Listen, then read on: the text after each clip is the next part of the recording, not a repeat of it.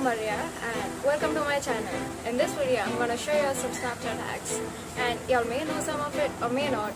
So let's get on to the video.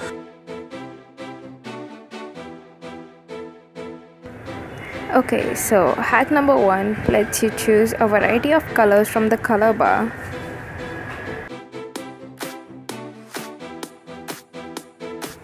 As you all can see, when I move my finger, the right side consists of pastel colors and the left side has darker shades.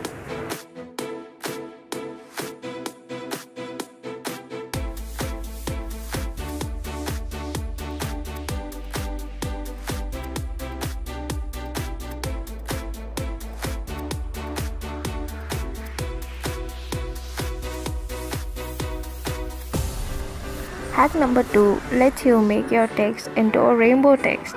Type in the word or the sentence you want. Select the word or the letter you want to edit and then add the colors of your choice. As I'm doing it in a rainbow text, I'm adding all the 7 colors of the rainbow. You can even change the text to bold, italic or underline.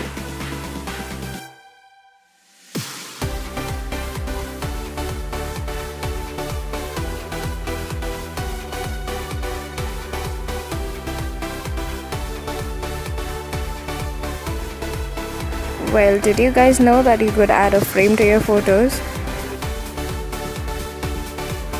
Type in the letter O and select a color for it using the color bar.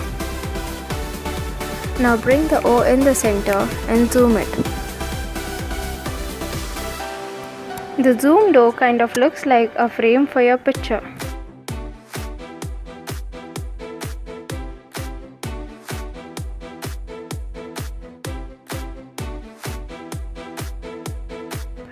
Now you can even have a gradient filter of your own. So why not have one?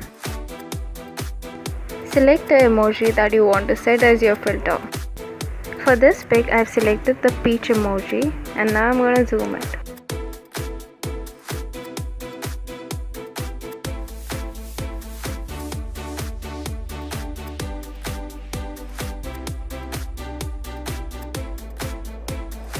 So once you get the desired filter,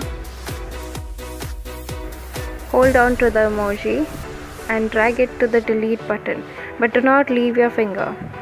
While you're holding your finger on the delete button, press the send button at the same time. And there you have it, your very own gradient filter.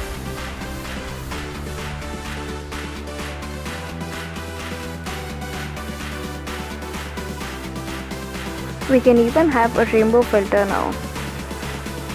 It's just the way we did the gradient filter.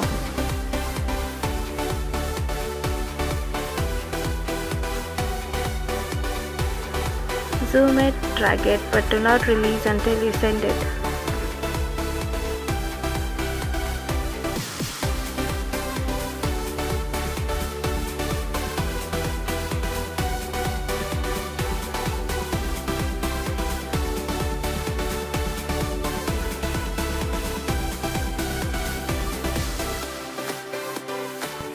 How do you fit each word on each line when you can't even add another line?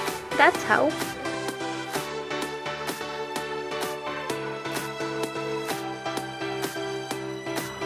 Go to your messages or your memo and type in the text that you want to add to your picture.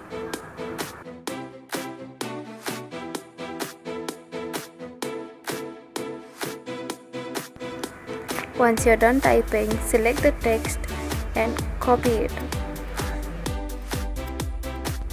Now go back to your Snapchat and paste your text over there.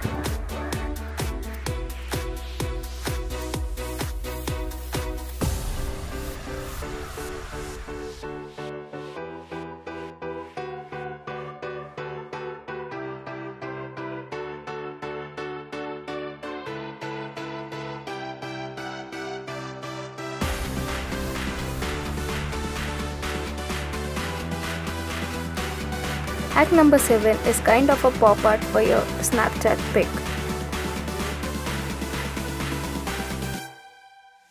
Type in any letter that has a vertical line in it. I selected the D and added a color of my choice. Zoom the letter that you just chose.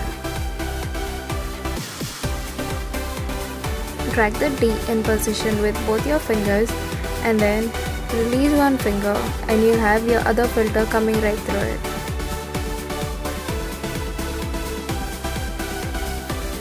Once you have all your filters in position, you can send it and that's how you get the pop art effect.